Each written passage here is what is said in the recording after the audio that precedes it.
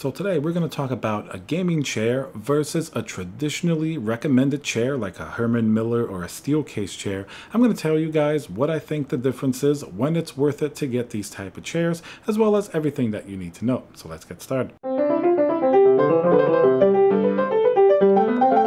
Hey guys, Tiago here. So, gaming chairs have been sort of the craze during the last few years. A lot of people will see very famous streamers with them and, and people on Twitch and even on YouTube.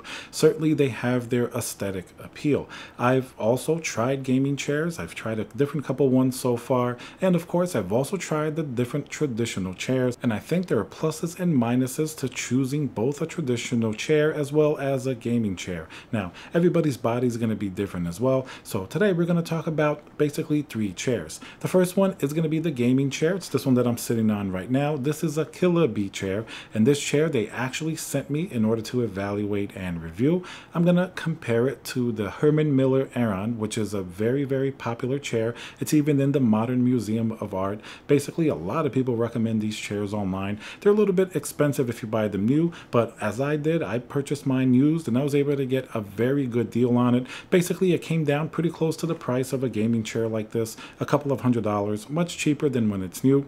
And the third chair is going to be the Steelcase Leap. It's probably the second most recommended chair compared to the Herman Miller Aeron. So we're going to talk about these three chairs. We're going to talk about sort of the aesthetics, the ergonomics, how they feel, as well as the build quality and features and things like that.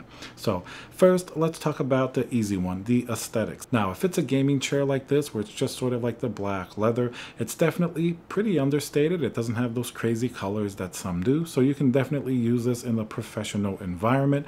Of course, the Herman Miller Aeron or the Steelcase, they have their own very unique and individual design, but they definitely look like they belong in an office much more than something like this, which can serve a little bit more of a dual purpose. Of course, the gaming chair, definitely something like this is going to be a little bit bigger, has a little bit more presence, and that's something you have to keep in mind in terms of the aesthetics. Now, let's talk about the actual comfort when you're sitting down in the chair. That's going to be basically the most important thing. Doesn't matter what the chair looks like.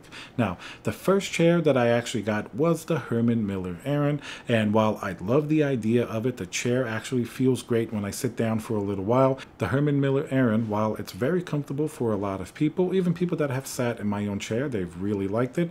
I found that for myself, it's a little bit too uncomfortable. I just found sort of the seat a little bit too rigid. It has that hard plastic, and it can even give some people sciatica and some back pain if you're not careful. I had some of that as well. Every time I would use this chair, I would have some type of back pain. So after trying out this Herman Miller chair, and it's highly recommended, it may fit for your body, but for me, unfortunately, it didn't. That's why I went and I tried the other chair in our lineup, and that's going to be the Steelcase Leap. Now, it doesn't look as cool or snazzy as sort of this Herman Miller chair, but it is a lot softer, and I found it actually more comfortable for my body. How does the gaming chair compare? Well, this is going to be a little bit surprising because at least for me, I find the gaming chair actually a lot more comfortable. The Herman Miller, it just it just doesn't work with me. The you know plastic is too rigid. Even if you're sitting and working or playing games, the Steelcase actually feels really nice. That would be my second choice. But in terms of comfort, I mean, look at the gaming chair. You're going to have sort of your headrest. You have a little backrest.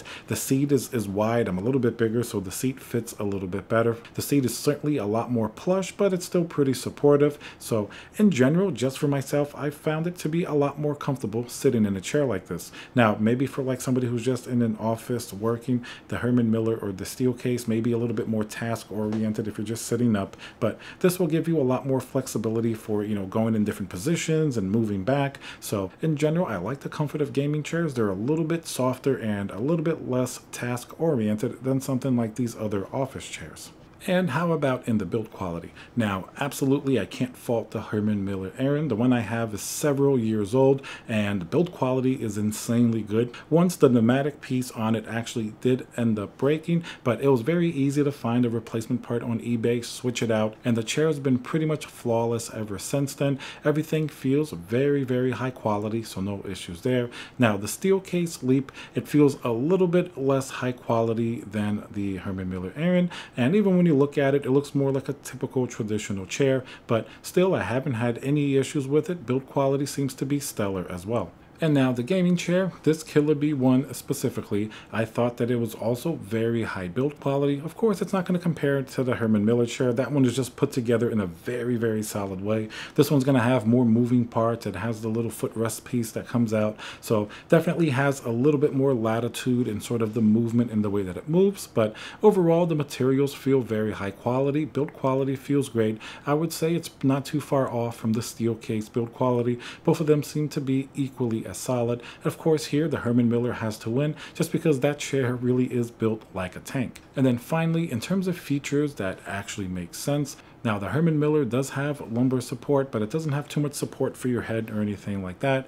And you do have a lot of adjustments as well as on the Steelcase chair, as well as the Steelcase Leap. You have, you know, plenty of adjustments up and down. You can sort of put the spring tension when you move up and down. But this is going to be a place where these gaming chairs definitely specialize in and a little bit crazier features. For example, the little lumbar support, you can actually plug it into USB and, and it gives you a little bit of a vibration, sort of a, a little massage when you're gaming or working or anything like that. And of course, it also comes with a little pillow for the back of your head, like I have it here. Not to mention a little footrest you can pop out and sit on it almost like a barber's chair or something like that. If you want to take a nap on it, it's actually very, very comfortable. So it's certainly going to have a lot of features, sometimes a lot more features than a traditional office chair. One thing about the Herman Miller and the Leap, at least those particular chairs, the armrests are a little bit more adjustable. This, these armrests in particular, they're kind of stationary. Some chairs will have it where you can move the armrest out and up and down. So I would say that's only sort of the only drawback of this particular chair,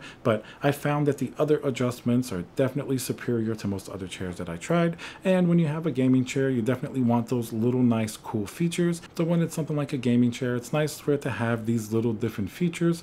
That way you can sort of, you know, have a more enjoyable experience if you're in several different positions and not just upright like you would be in an office environment. So overall, I think chairs are very individual for particular people. You would choose a chair like this if you really first you want that sort of gaming aesthetic and it definitely is very very comfortable. You have some really nice and cool features, not really overly expensive at all. I'm also going to leave a link below and like I said they did send me this chair in order to evaluate and review the other office chairs I just had already. Those two other chairs that I mentioned today as well, they're also fantastic if you feel comfortable in them. I would urge you to maybe go to a store and try them out. Like me, I thought I was going to love that Herman Miller chair, even though I like the design and the build quality. Really, at the end of the day, wasn't very comfortable, and I had to go search for other solutions that would be a lot more comfortable. That's just going to be up to the individual. Some people love that chair and can sit in it all day without any issues, so it's certainly up to your own body. Definitely, if you want a gaming chair, these are going to have really nice aesthetics and features, so that's certainly something to keep in mind when you're trying to choose between a gaming chair and office chairs.